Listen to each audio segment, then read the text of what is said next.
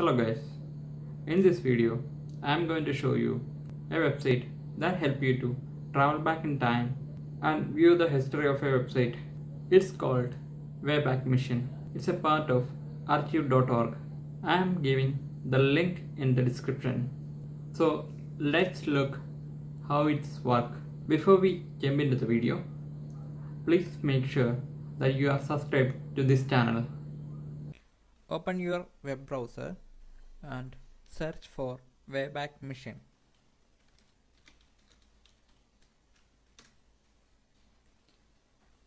And click the link.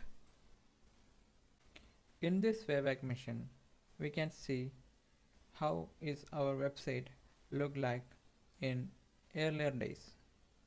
I had a website uh, ajithjojo.com when I was very younger. So currently the website is not available. So we are going to look that website.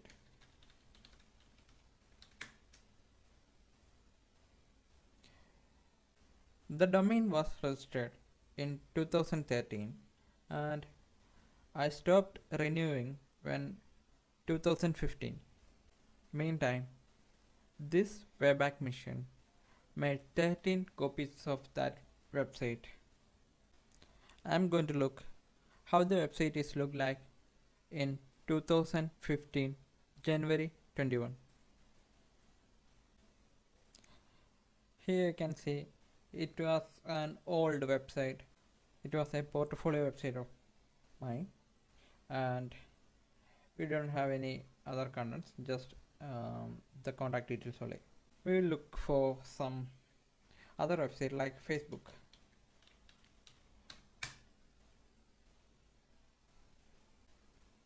in the case of Facebook the Wayback Machine captured almost 4 million copies of it and we can go to when it started like 2004 okay uh, in 2004 Facebook and not acquired the domain facebook.com.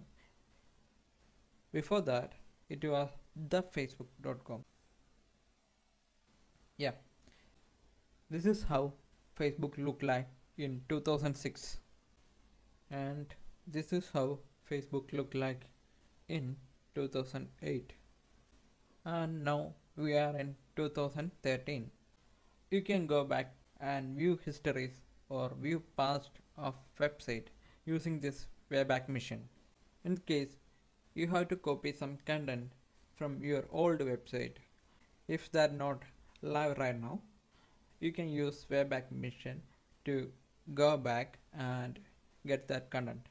This archive.org also providing old books and videos and audios and software and lot of other resources too.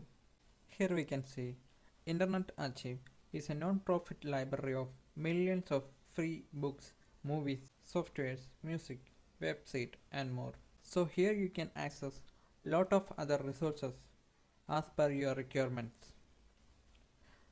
Hope you like this video. We'll see you in the next video.